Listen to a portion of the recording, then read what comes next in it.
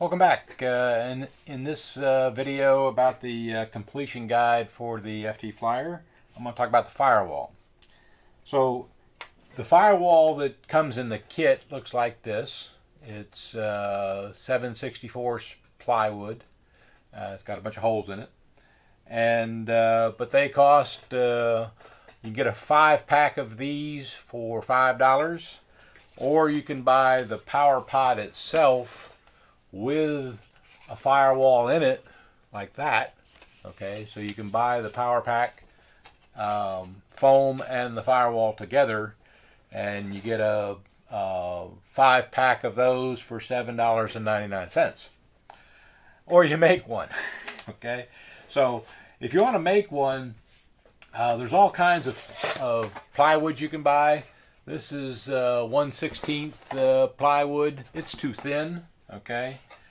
Um, there's 764 plywood uh, and I like to measure in millimeters. 764 is 2.63 millimeters.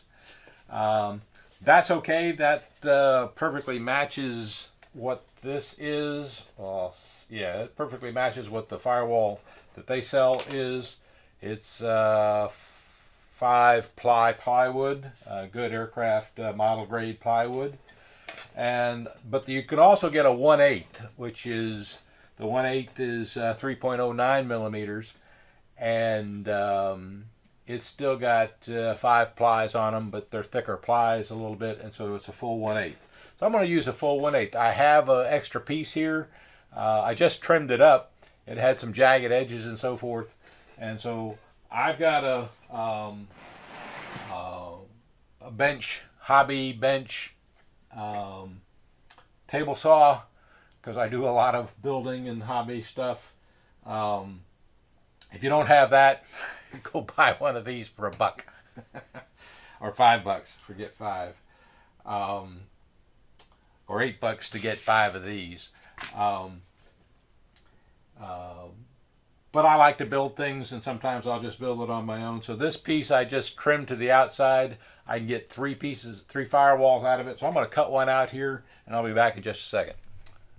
So I'm back and uh, I've cut out my firewall, okay, and I went ahead and drilled the three holes in it, um, four holes I guess. Uh, the two holes in the top are for the um, support for the wing uh, to slide through. Uh, the center is just an opening in case the uh, motor goes uh, sticks out into the firewall a little bit. Some motors do. This, this small hole down here in the uh, lower corner is uh, for the bullet connectors to come in so they can connect to the ESC. it didn't have to be square like this. It can be round. Don't know why they made it square, but that's okay. It doesn't have to be as big as that either. It's it's big enough. So. Um, the uh, I guess the holes were uh, let's see 1164s for the two holes on the top. The center hole was uh, 13 30 seconds and the uh, small hole at the bottom was uh, 9 30 seconds so having a good uh, drill a good saw and a nice set of uh, drill bits you can do this if you don't have all this spend the dollar it takes to buy one of these. Uh, I'm doing it just for fun. Uh, by the way, one other thing you're going to need for the firewall are some screws to screw the motor into the firewall. I recommend using um, these.